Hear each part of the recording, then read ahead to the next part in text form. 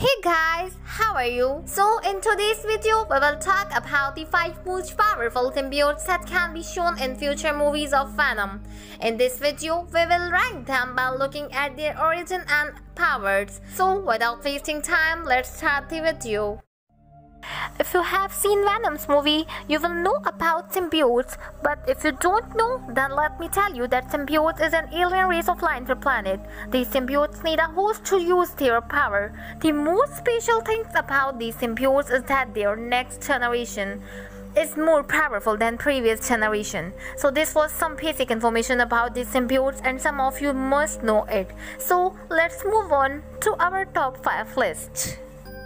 Number 5. Anti-Venom The origin of anti-venoms is different from all other symbiotes because the creation of anti-venoms inside comics happens which when Venom bond ends with Eddie Brock. But some particles of Venom remain inside the Eddie Brock and apart from this Eddie Brock and causes cancer.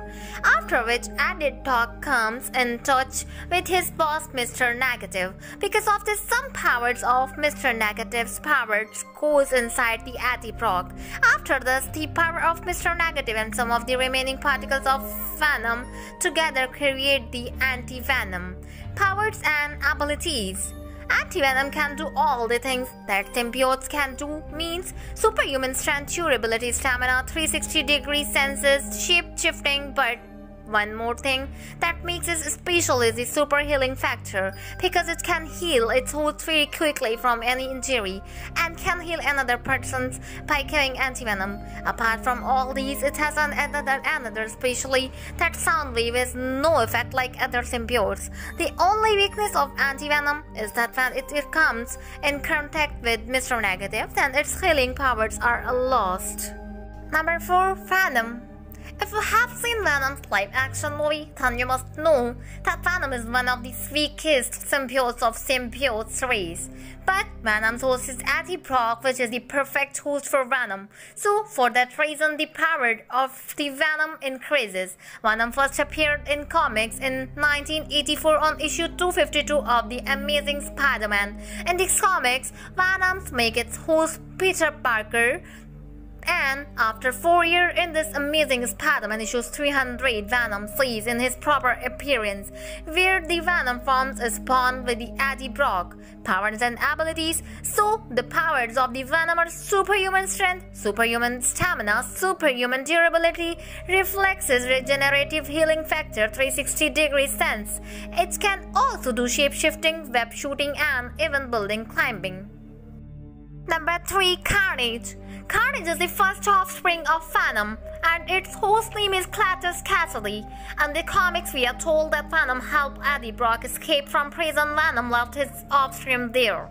Then, this little offspring made a bond with Eddie Brock's prison soulmate Cletus Kasady. Cletus Kasady is a psycho, mentally ill, and serial killer, and he has killed many people in his life. Venom offspring bond with his psycho man, then born Carnage. Powers and abilities. Carnage is powered like its father, such as superhuman strength, durability, reflexes, stamina, and 360 degree scent. But because Carnage is a successor symbiote of Venom, the powers of Carnage are superior to Venom. Carnage also can create any type of weapons and shoot that at will. Number 2 Toxin Toxin is the first child of Carnage. Toxin is considered one of the most dangerous and strongest symbiotes. Toxin is the successor symbiote of Carnage. That is why it is more powerful than Carnage and Venom.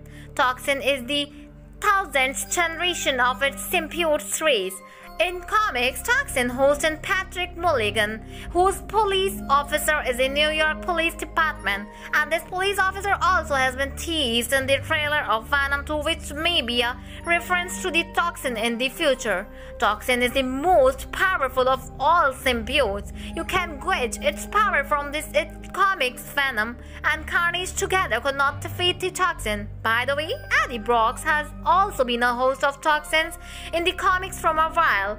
When Eddie Brock comes, the host of Toxin, then the powers of Toxin go to the next level. Number 1. Knull Knull is the code of all symbiotes and he created all symbiotes. Knull exists in this universe even before the Big Bang. Knull lived in the dark from the beginning and he loved the dark. But later the Celestials came and began to create the universe in these empty and dark places and began to fill these dark places with light. Knull became very angry when he saw them and then he attacked the Celestials, after which Knull created the symbiote race from this shadow. If we talk about Knull powers, it has killed many Celestials and godlike pigeons. The Knull is so powerful that it has created a powerful race like symbiotes only from its shadow. However, Knull has done a lot in comics. If you want to know the complete origin of Knull, please comment. So friends, this was today's top 5 list. If you liked the video, don't forget to like and subscribe. See you in the next video. Take care all of you and bye bye.